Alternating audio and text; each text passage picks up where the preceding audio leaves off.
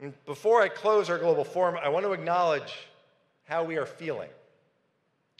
We came to Global Forum because we thought it was important to be together. I don't think we imagined how desperately we needed to be together. It is easy to feel hopeless right now. But the isolation that we may feel doom scrolling social media in our homes in Australia or South Africa, in Atlanta or Kansas City, France or Argentina, that can be overcome. How? By joining together as one unified Jewish community where we stand together and declare to the world that we don't need permission to be proud Jews and proud Zionists. That is who we are. We don't. In, in 10 years, in 50 years, they're going to write the history of this moment.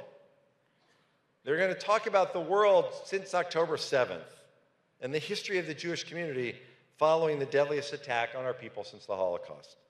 On October 6th, that story, that story was being written was one that was about division and strife. But the story of our people since 10/7 is a story of unity because we are fighting back.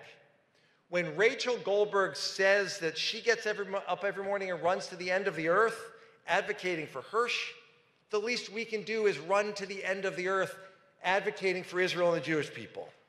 And when, and when the president of Israel, just weeks after October 7th, looks a group of AJC leaders in the eye and tells us to do everything, that's what we do. If you are part of this incredible gathering, or if you're watching online, that is my message to all of you.